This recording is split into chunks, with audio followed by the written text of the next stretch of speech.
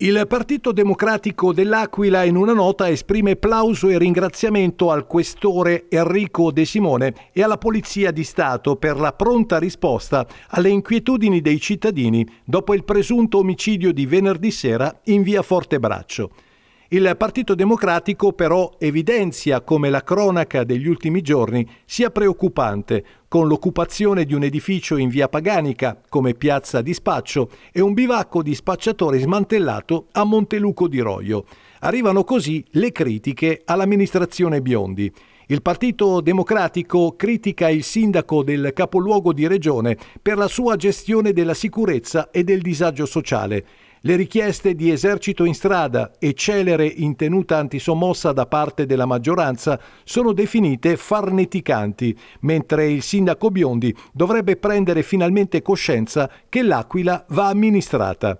Il Partito Democratico propone di potenziare il personale in questura e della Polizia Municipale, realizzare interventi di carattere sociale e di inclusione, riqualificare socio-culturalmente le aree urbane, recuperare lo spazio pubblico come luogo luogo di incontro, socialità e cultura e illuminare i luoghi bui della città curando gli spazi pubblici.